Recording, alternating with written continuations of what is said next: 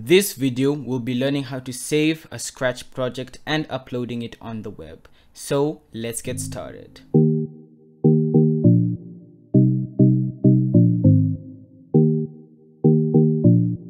So to get started, we're going to start off with saving our project. So if you want to save a project that you've created before, like for example, our top-down zombie game, what we're going to do is we're going to go up here to the top left where it says file and then you're going to left click it. And then you're going to click the save to your computer. And now once you're here, you're going to want to choose a place you want to save your game.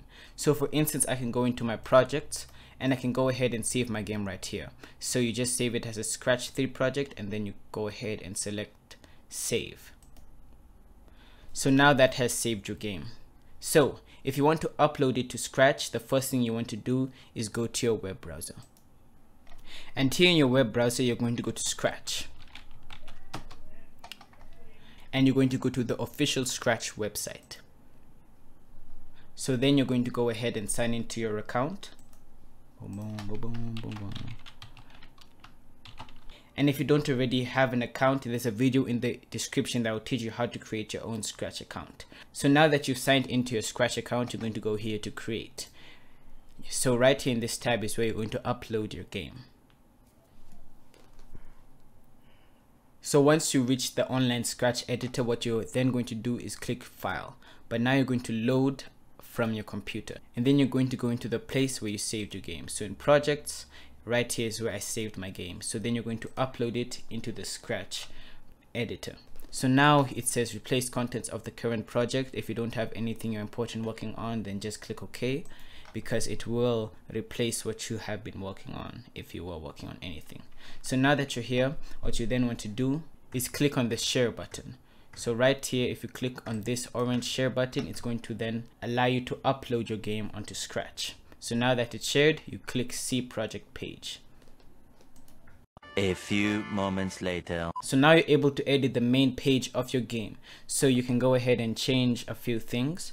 So for right here, my game's name is Konita Tutorials Epic Top Down Shooter. So I'm just going to go ahead and name it that and make that the name title.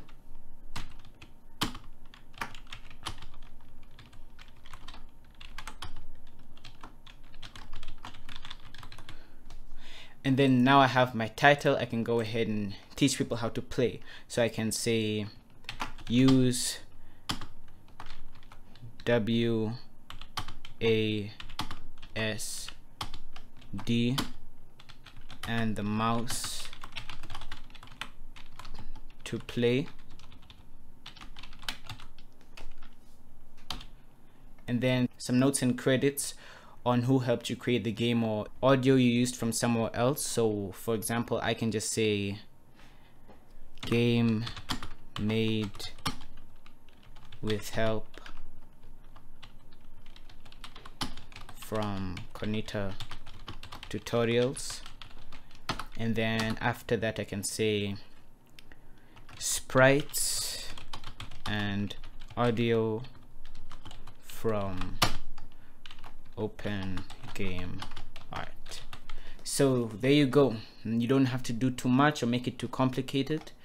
Um, right here is all you really need for the front page of your game so right here you have your notes and credits your instructions and the name of your game so now that's all you need to do now your whole game is out so now you've learned how to upload your game on scratch so we've come to the end of this video where you learn how to save and upload your game onto Scratch. So I hope you enjoy that video and make sure to like and subscribe so you don't miss future videos.